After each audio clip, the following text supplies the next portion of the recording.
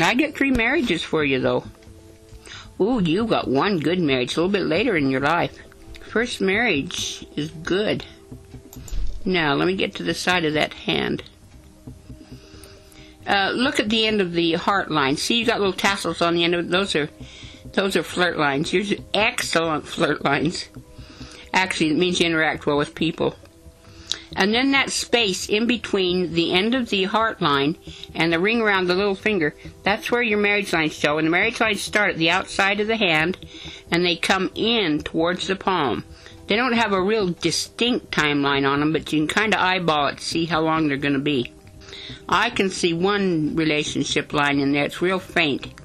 So I'm reading up the first third from the end of the heart line up to the ring around the little finger. The first third of that, that's about age 20, 30. The next third is about, uh, third is about 40, 50, and the last third is about 60, 70, 80. So I get one marriage line in there, but he dies before you do because it tips down on the end. It's about 20 years long. Then your second marriage line is very good. It's quite long, maybe 30 years long.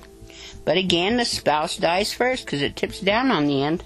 Then that third marriage line's just a little shorty pie. Probably not even hardly 10 years.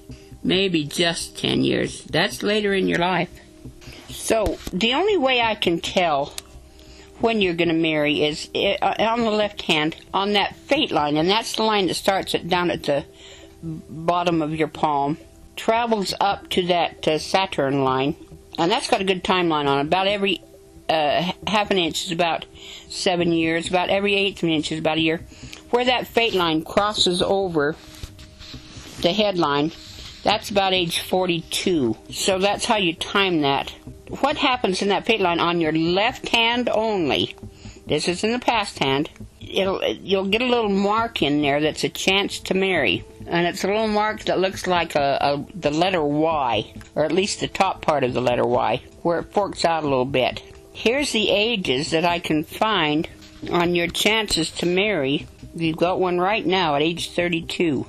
So I look along on that left hand, I look along that fate line to see where these little Y marks are at age 32, at 38, at 40, at 44, 46, and I've got 46 underlined, which might be like a second marriage there and then let's see, 46 is underlined. 48, 63, and 65. That's probably that last old marriage line.